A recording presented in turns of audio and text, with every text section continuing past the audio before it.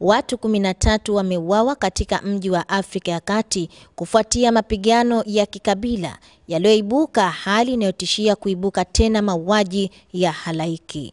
Mapigano hayo yametokea katika mji wa Bria katikati mwa mji wa Bangui kati ya waasi wa Kiislamu na wenye imani za dini ya Kikristo wa kundi la Anti-Balaka. Idadi kamili ya vifo imefikia kiasi ya 30 tangu kuibuka kwa mapigano hayo. Hata hivyo, majeshi ya kulinda amani ya Umoja wa Mataifa MINUSCA haijatoa taarifa yoyote hadi hapo.